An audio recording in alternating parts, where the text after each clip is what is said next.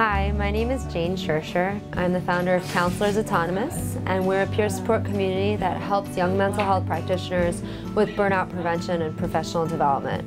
Our events are affordable and they are formed off of community response.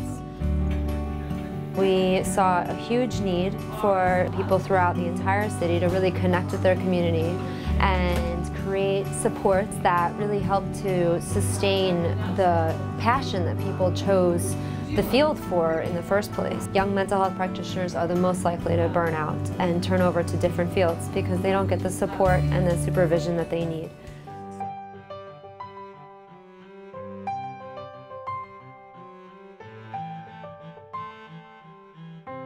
My experience with Counselors Autonomous has been that of a growing and a dynamic organization that is constantly developing, constantly attracting new people and making a difference in the field.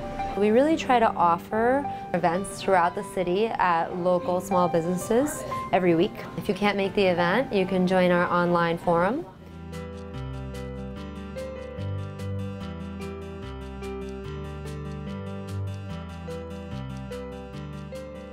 It's been very supportive so far and it's really diverse and it's always growing so I know that there's always another level that it's going to get to next. We focus on the entire individual and community health. So mental health, physical health, support through the community, and sustainability.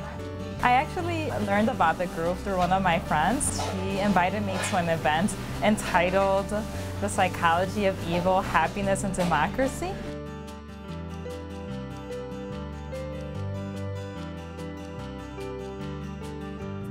Counselors Autonomous is a group where you can network with other people that are in the mental health field. You can gain social support if you're having trouble with the clients that you're seeing, a way to prevent burnout if I feel like I'm under a lot of stress.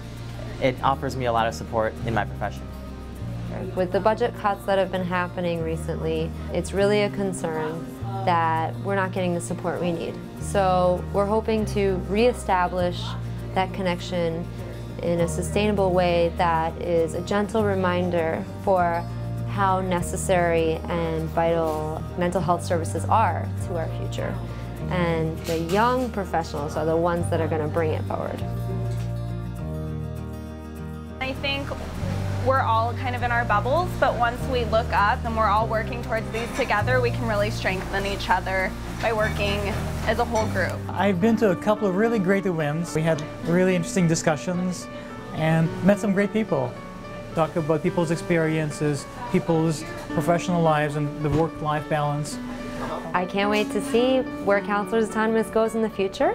It's really the brainchild of a lot of young mental health practitioners. My name is Sasha and I'm a member of Counselors Autonomous. My name is Brian. I'm a member of Counselors Autonomous. My name is Yuri and I'm a board member of Counselors Autonomous. My name is David Levy and I'm a member of Counselors Autonomous. My name is Anna Romero and I'm a member of Counselors Autonomous and I'm proud to be a part of it. I hope this keeps going. I hope it's going to be great.